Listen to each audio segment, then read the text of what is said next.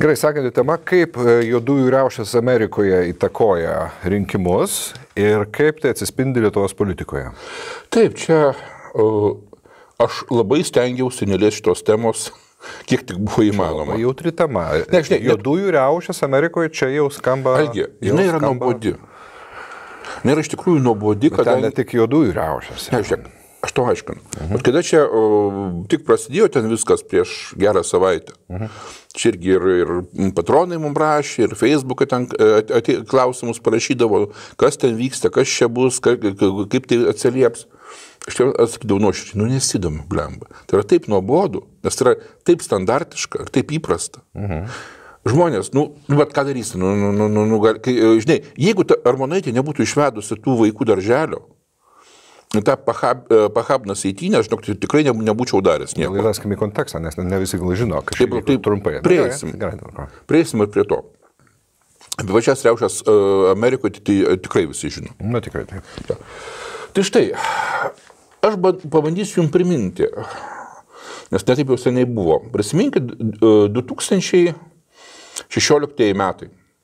Dar valdžioje Obama, bet jau eina rinkimų kampanija, prezidentų rinkimų kampanija ir užverda. Black Lives Matter, policijos smurtauja prieš juodaodžius. Ir pasakyti, jau tada buvo Black Lives Matter? Taip, taip, taip, taip, taip, taip. Viskas, viskas buvo, kai sakau, visiškai nieko naujo, dėl kurios man tai yra nuobodu. Mhm. O, tema žiniasklaidos yra užpampuojama iki to, kad toks įspūdis, kad policininkai vaikšto po Ameriką ir dairosi, čia kokį nors vargšą negriuką nušauti. O tai yra tiek išvaroma, kad BLM smogikai pradeda e, medžioti baltuosius policininkus, juos žudyti. BLM tai Black, black Lives Matter. Jo, jo, Black Lives Matter. Tai čia, aš tikiuosi, dar, dar ne visi pamiršo, kad iš tikrųjų tai buvo, buvo natūraliai žudomi baltieji policininkai. Jie būdavo e, gaudomi pasalas ir, ir sušaudomi. Tai yra faktas.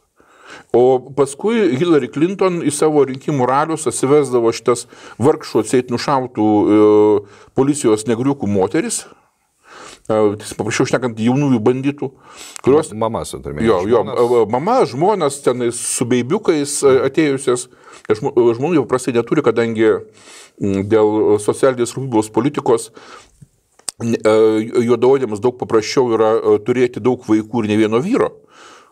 Nes nu, socialinės pašalpos eina. Negu turėti teisėtą vyrą ir vaikus, nes tada socialinės pašalpos neįs. Ja.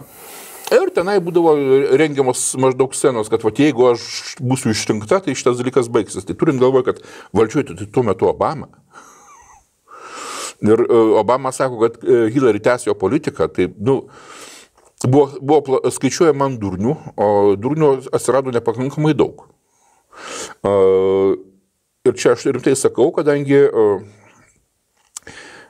Donaldas Trumpas 16 metais, matydamas visą tą siautėjimą ir visą tą antibaltosios isterijos putimą, kad čia maždaug yra kažkokie baltieji suprematistai, Trumpas baltųjų suprematistų kandidatas, kad jisai rasistas ir panašiai, panašiai, jis tiesiog pasakė, šūkis jo buvo toksai. A ką jūs pagal jis prarasit balsuodami už mane? Ar jums, bus, ar jums dar gali būti blogiau? Tai toks iššūkis buvo. Ir jisai surinko, ir Trumpas surinko 16 metais 7 procentus juodųjų balsų.